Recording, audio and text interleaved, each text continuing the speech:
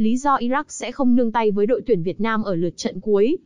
Đội tuyển Iraq vẫn đặt mục tiêu đánh bại Việt Nam ở lượt đấu cuối cùng, dù đã sớm có vé đi tiếp vào vòng loại thứ ba.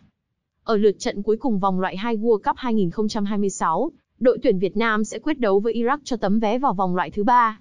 Đội tuyển Iraq theo đó đã chắc chắn vào vòng trong với 5 trận toàn thắng.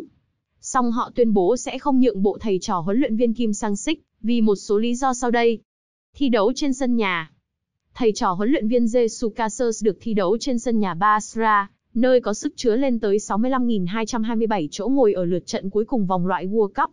Tại đây, chắc chắn họ sẽ nhận được sự ủng hộ cực lớn từ NHM bóng đá trong nước.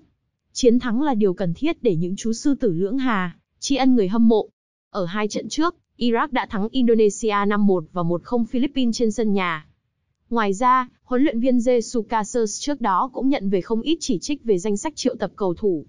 3 điểm, trên sân nhà có lẽ sẽ giúp ông cởi bỏ áp lực đè nén trong thời gian vừa qua. Tạo chuỗi 6 trận thắng liên tiếp. Đội tuyển Iraq đứng trước cơ hội là một trong số ít đội thắng cả 6 trận ở vòng loại thứ hai. Tính đến thời điểm hiện tại, chỉ có 4 đội Nhật Bản, Iraq, UAE và Úc là những đội toàn thắng cả 5 trận và có trọn vẹn 15 điểm. Thầy trò huấn luyện viên Jesus Casas chắc chắn sẽ không bỏ lỡ cơ hội này khi họ là những người được đánh giá mạnh hơn ở trận này. Phát biểu sau trận gặp Indonesia, chiến lược gia người Tây Ban Nha không ngần ngại bày tỏ tham vọng thắng toàn bộ 6 trận. Đối với những người hâm mộ Iraq, chúng tôi đã đền đáp sự ủng hộ của họ khi giành trọn vẹn điểm số sau 5 lượt trận. Chúng tôi sẽ tiếp đón tuyển Việt Nam ở Basra với mục tiêu toàn thắng, ở vòng loại thứ hai để hướng đến các trận đấu sắp tới. Bị trừ điểm FIFA nếu hòa hoặc thua. Một điều chắc chắn, Iraq sẽ bị trừ điểm nếu để Việt Nam đánh bại hoặc cầm hòa. Đội tuyển Iraq đang tạm thời nằm ở vị trí thứ 58, tức là hơn Việt Nam 56 bậc 114.